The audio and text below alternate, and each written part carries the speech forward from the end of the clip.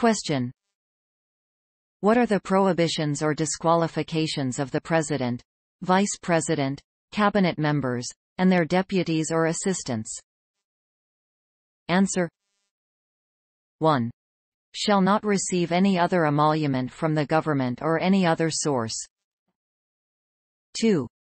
Shall not hold any other office or employment during their tenure unless a. Otherwise provided in the Constitution b. The positions are ex officio and they do not receive any salary or other emoluments therefore 3. Shall not practice, directly or indirectly, any other profession during their tenure 4.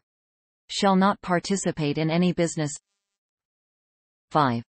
Shall not be financially interested in any contract with, or any franchise, or special privilege granted by the government, including government-owned and controlled corporations 6.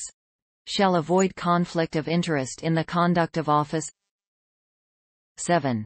Shall avoid nepotism